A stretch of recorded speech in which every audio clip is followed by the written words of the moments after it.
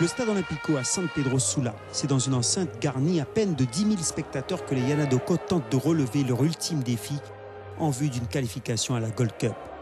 Mais après le succès acquis 3 buts à 1 à l'aller, c'est une équipe du Honduras revancharde qui se présente face à nos représentants.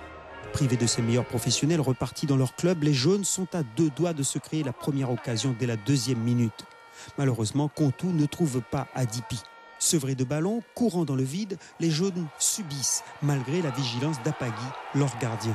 Mais à la demi-heure de jeu, les Honduriens vont trouver la faille suite à une touche rapidement jouée et une frappe soudaine, imparable, signée Nayar. À peine le temps de se remettre que les Yanadoko pêchent une fois de plus par inattention sur une nouvelle touche. Garcia dépose la balle sur la tête de Nayar qui double la marque. Les Guyanais sont abasourdis alors que le stade croit de nouveau en son équipe. Une formation du Honduras qui va faire le break juste avant la mi-temps sur un nouveau centre venu de la gauche. Anthony Lozano donne trois buts d'avance aux locaux. La deuxième mi-temps voit les Yanadoko se reprendre quelque peu en fin de match. Mais c'est timide, rien n'y fait. La marque ne bougera plus. 3-0, le Honduras prive la Guyane de sa première qualification à la Gold Cup. On a eu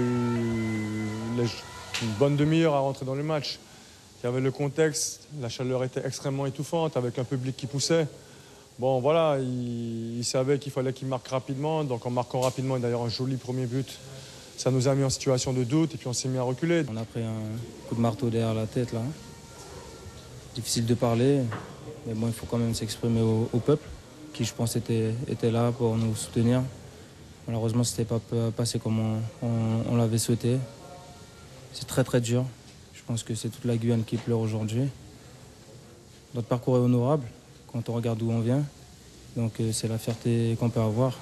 Si cette année, les Yanadoko ont échoué aux portes de la qualification, reste que leur victoire devant le Honduras au match aller demeurera une rencontre référence pour obtenir dès 2016 un ticket pour la Gold Cup.